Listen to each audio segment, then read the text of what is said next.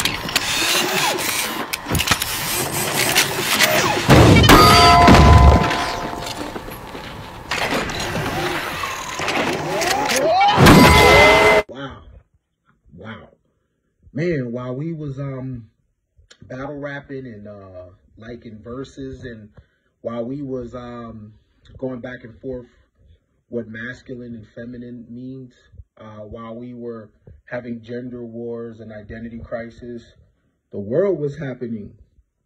You know, while we were distracted um, because of having freedom anxiety, like we don't know what to do with our time for real.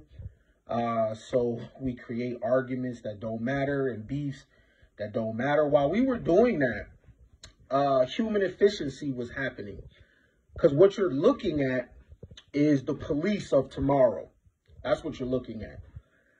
Humans have a way of creating technology that it makes us more efficient. And we've been stuck so much on trying to recreate a traditional reality that we forgot about the future and right now. See, while we're talking about the past, other peoples are basically setting their kingdom up in the future and they're creating systems that are going to make sure that their bloodline enjoys the best quality of life possible. When you have um, a police force like this, basically uh, governing everybody on the bottom, I think the quality of life of those people on the other side of town is going to be extremely high because these things don't have emotions. These things are going to keep people in check. You know, they can't be reasoned with, they can't be negotiated with. There's never going to be a time where uh, these kind of things acknowledge your humanity. And this is going on all over the world.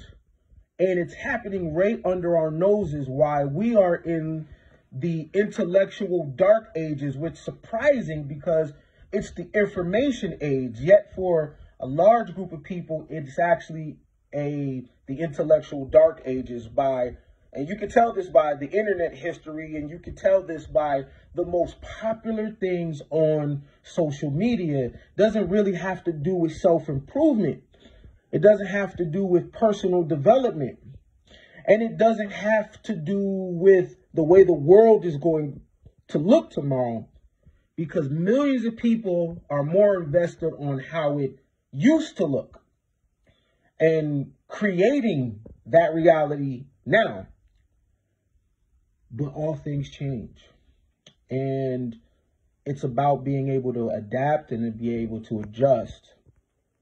And the people that are really going to suffer from things like this are the people that are beefing with each other uh, because the world changed.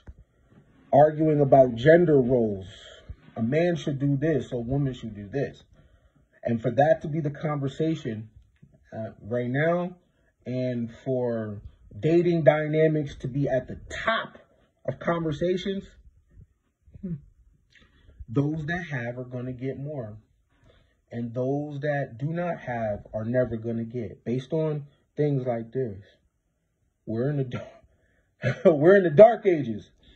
Um, I suggest people change the conversation with each other and actually share information that can, I don't know, fill each other up a little more, more grace, or not, or not. you know, you definitely have a right uh, to live how you want to live.